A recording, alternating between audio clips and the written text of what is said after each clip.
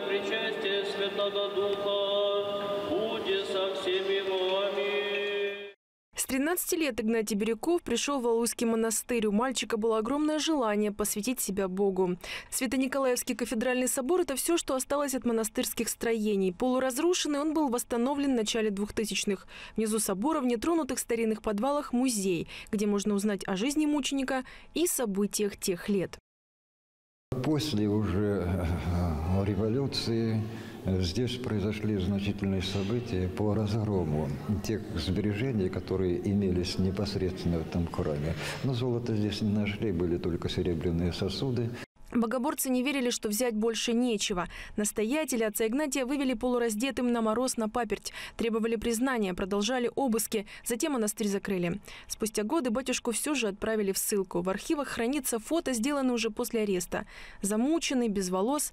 Несколько лет назад Сава, епископ Валуйский и Алексеевский, лично написал портрет святого. Признается, очень хотел изобразить его снова здоровым и спокойным. Меня вот мысль написать э, э, портрет его, она во столько вонзилась э, мне в сердце в 5 утра, что я в 5 утра встал, я так никогда не делал.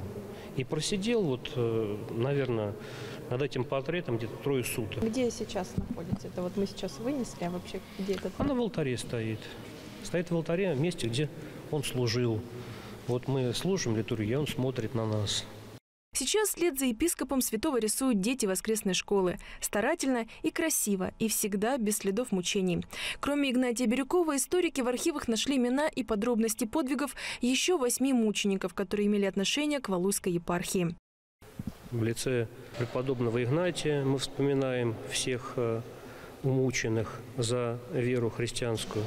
Ведь это же ну, какое время было? Вот э, представьте себе, что количество пострадавших за веру христианскую превзошло количество мучеников первых времен.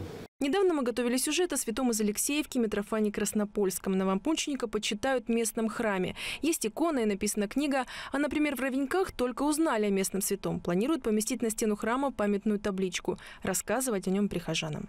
На самом деле люди э, немножечко ну, перезагружаются в своей действительности повседневной. Вот так вот ходили много лет в храм. Ну, ходили, обращались к Богу, к святым, э, которых они ну, совершенно не представляли, да, как-то своей жизни. А это вот живой человек. Э. В других храмах епархии тоже планируют увековечить память своих святых, чьи имена стали недавно известны. Татьяна Кулькова, Александр Кветко. Такой день на мире Белогорья.